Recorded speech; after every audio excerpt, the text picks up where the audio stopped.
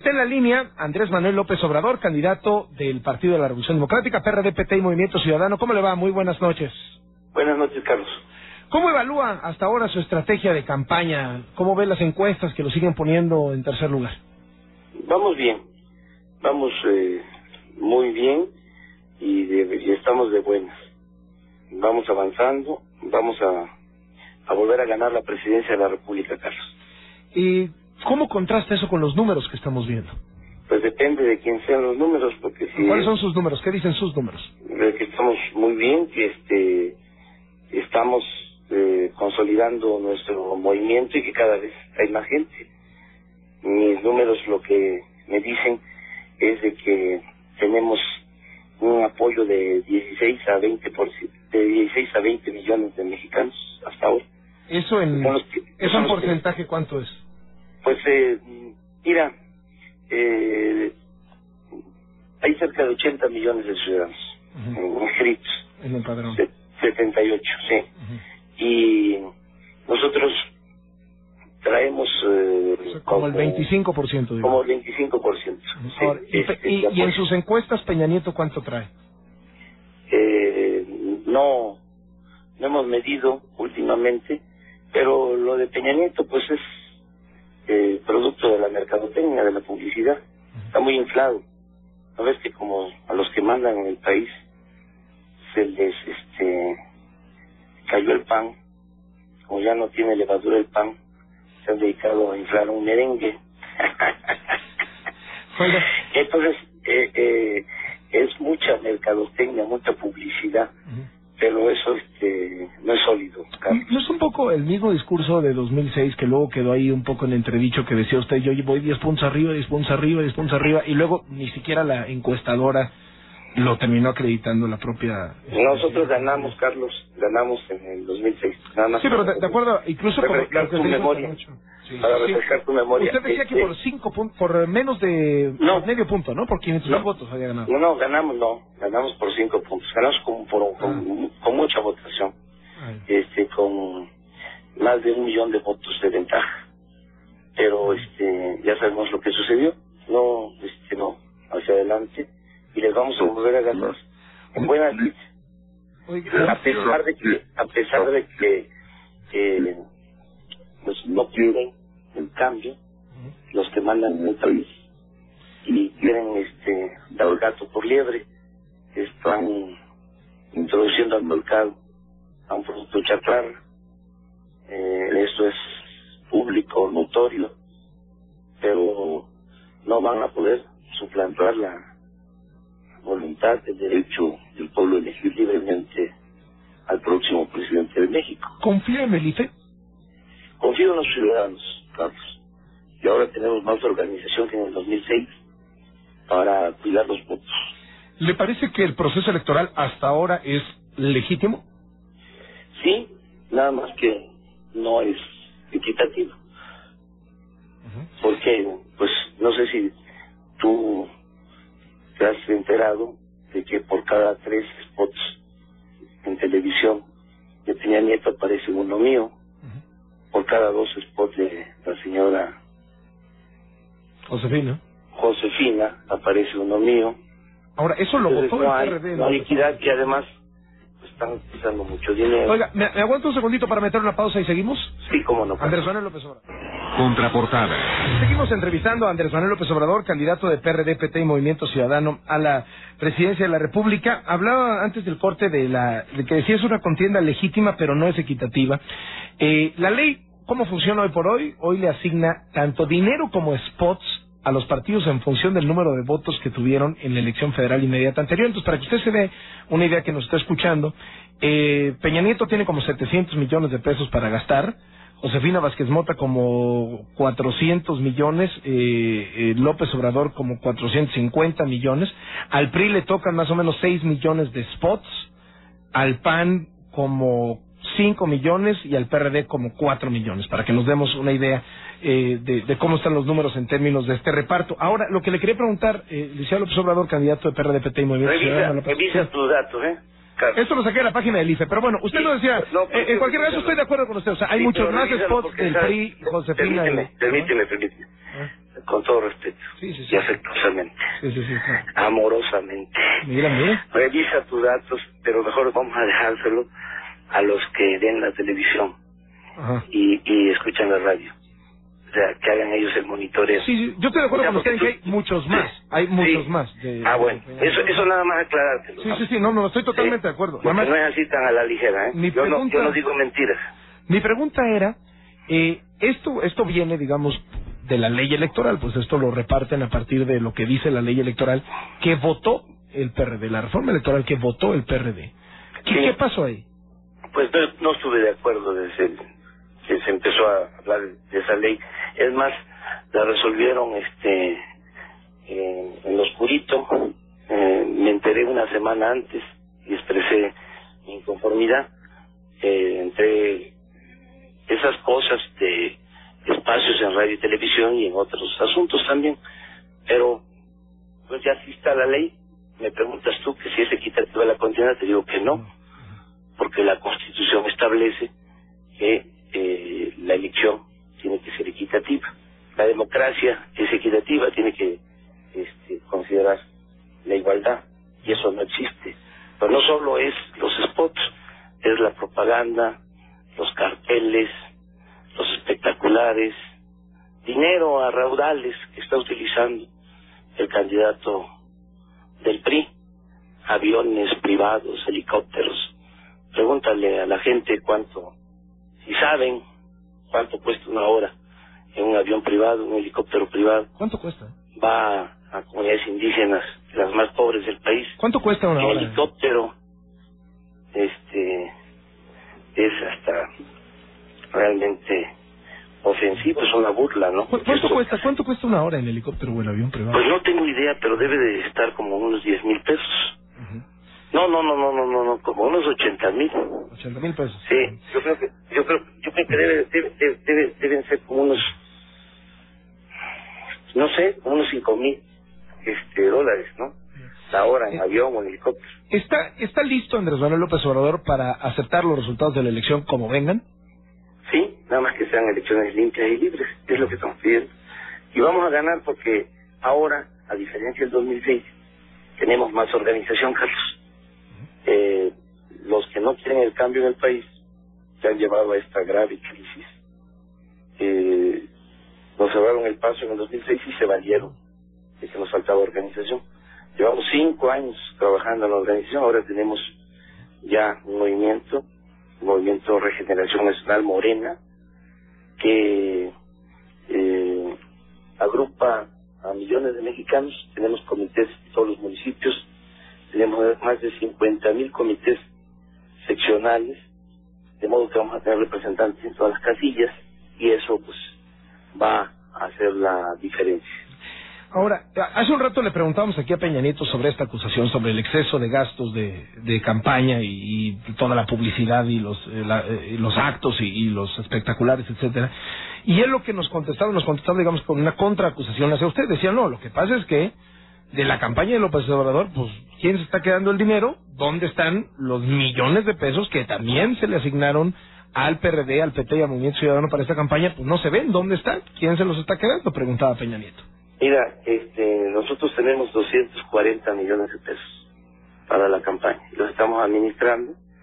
Yo estoy haciendo una campaña austera, a ras de tierra. Eh, Porque los spots son gratis, ¿no? Sí, no, no, no, no es- estamos acostumbrados a derrochar. Y el tope de campaña son 330 mil, 330 millones de pesos.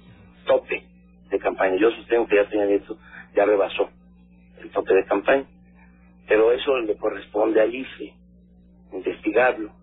Deberían de oficio hacer la investigación. ¿Y usted está, digamos, ahorrando? Estamos administrando lo poco que tenemos, este, porque el principal apoyo que nosotros tenemos es la participación de la gente. La campaña la estoy haciendo con la gente, que me están ayudando a tres cosas eh, que son fundamentales. Primero, informar, a correr la voz. Estoy pidiendo que cada ciudadano consciente se convierta en un medio de comunicación, porque la mayoría de los medios de comunicación en el país están apoyando a Peña Nieto, es su proyecto. Entonces, nosotros necesitamos la, de la participación de mujeres, de hombres libres, conscientes, para que nos ayuden en eso, a informar, a orientar. Lo segundo es que eh, muchos mexicanos, se diría que alrededor de 5 millones, están actuando como protagonistas del cambio verdadero. Eh, la tarea de cada protagonista es convencer a cinco ciudadanos más. Eso nos están ayudando. Lo tercero, pues es precisamente el que nos ayude la gente a cuidar las casillas, a defender el voto. Entonces estamos haciendo la campaña así, por eso no gastamos. Me recuerda mucho lo que dice este Peña Nieto también, lo digo con todo respeto, sin ánimo de ofender. Eh, ese símil, ¿no? De quien este le arrebata la bolsa con dinero a alguien y se dedica a gritar a ladrón, a ladrón, a ladrón.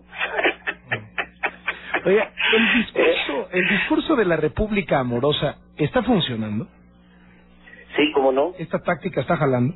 Cómo no. Fíjate que son tres preceptos fundamentales que yo considero son eh, lo que se requiere para sacar a México de la atolladera en que lo han metido. Eh, primero, honestidad. Segundo, justicia. ¿Y tercero? Amor.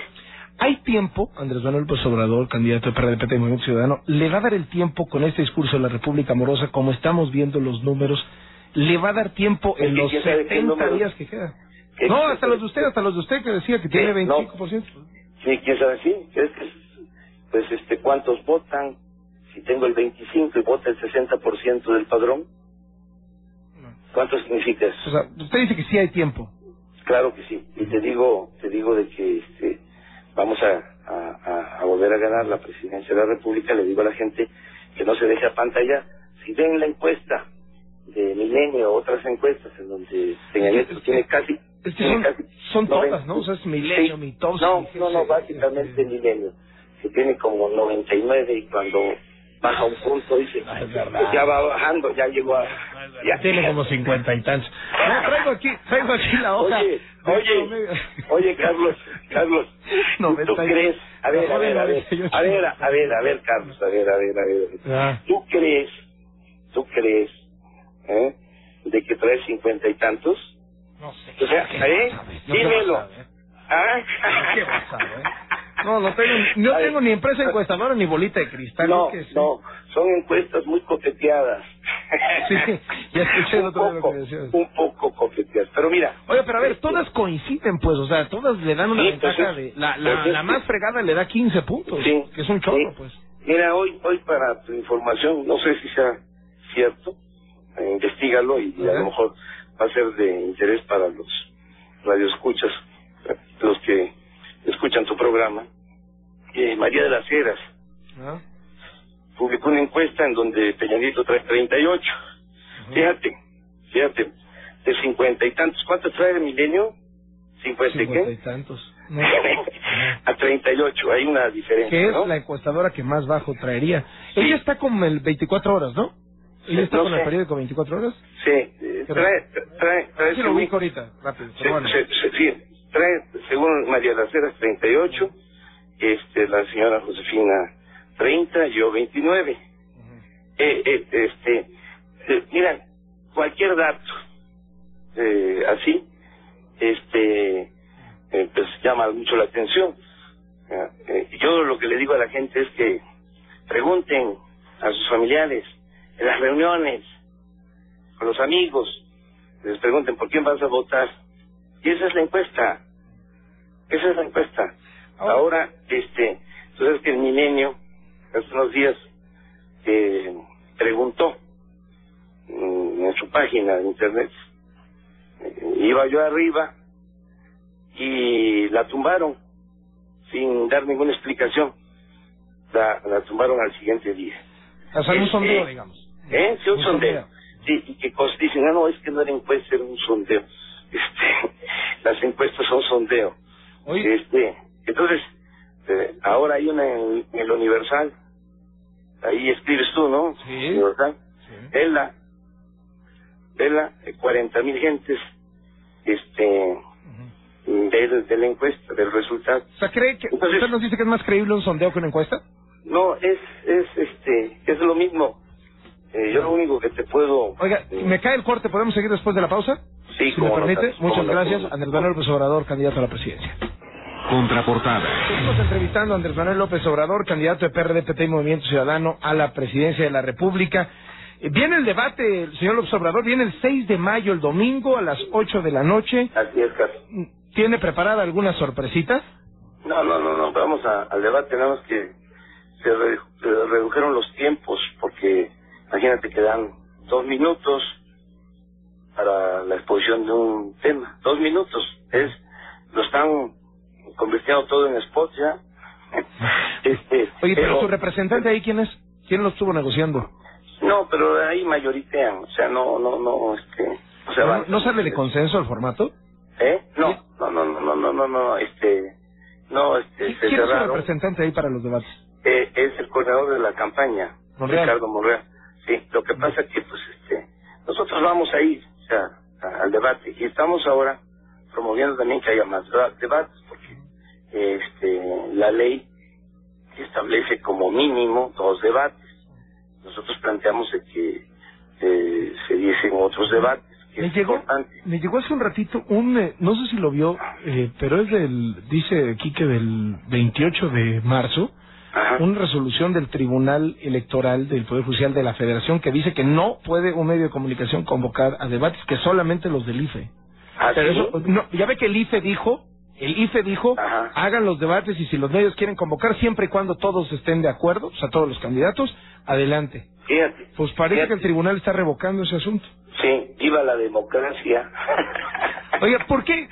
Viva la democracia. Me llegaba hace un rato por Twitter, decía, ¿por qué ahora sí López Obrador quiere debatir y en 2006 no quería debatir?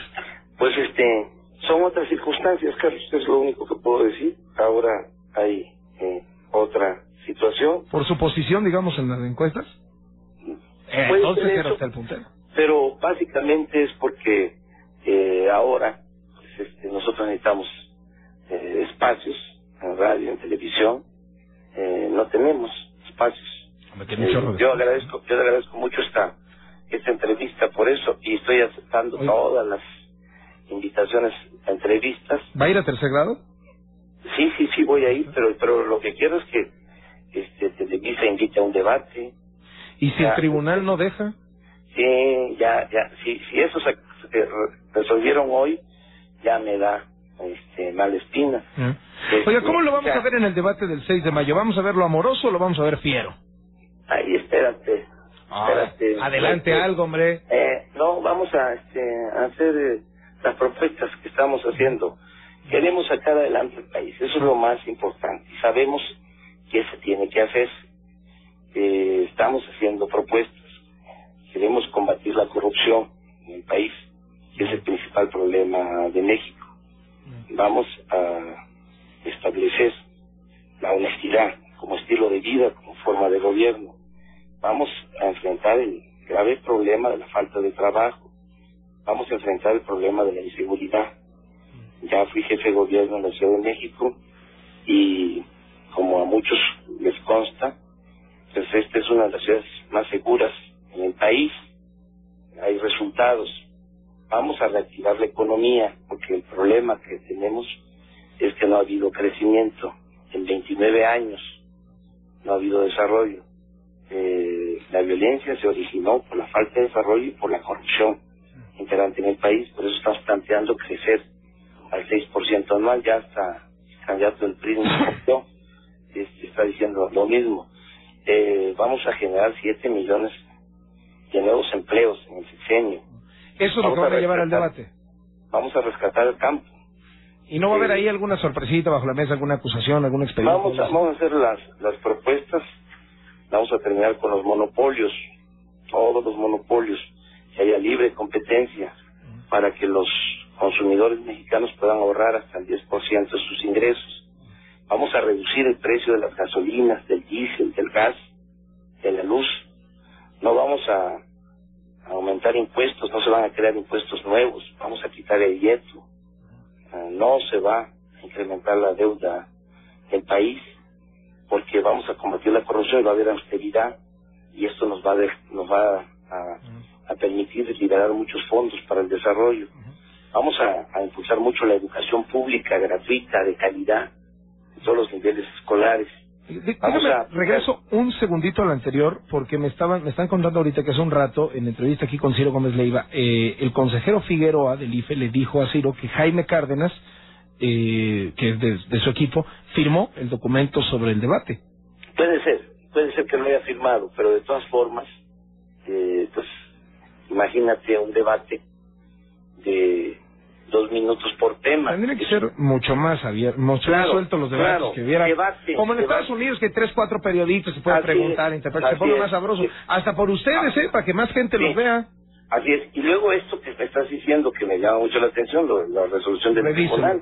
imagínate, imagínate que eh, la autoridad electoral eh, impida que haya debates.